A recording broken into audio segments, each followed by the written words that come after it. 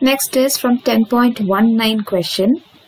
The third conversion which is 1 bromo propane to 2 bromo propane. This is a simple one.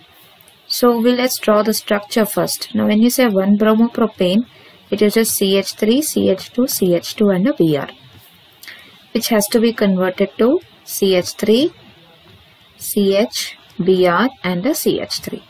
So the Br has to move from position number 1 to position number 2. So first step what we are going to do is eliminate the Br, form a double bond and then you do go by the Markovnikov's rule. It's a very simple equation. So we have CH2, CH3, CH2, CH2, Br. First thing is we are going to remove that Br.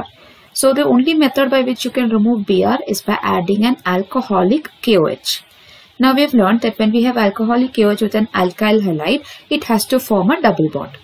So here, it's going to follow Zaitsev rule.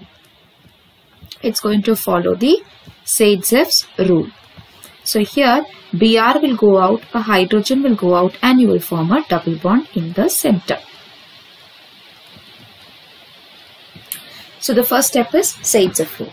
Now in the second case, you will just need to add Br on the second carbon which is by following Markovnikov's rule. Alright, so it's a very simple question. You need to follow Markovnikov's rule. So here you will end up getting your product with Br in the center. Alright, so here first step is Zaitsev rule and the second step is Markovnikov's rule. Once you know the rules correctly, then it's easier for us to uh, put it in the respective equation. So just by looking at the molecule, then you'll be able to decide which rule goes where. So for that, you need to make the rules correct first.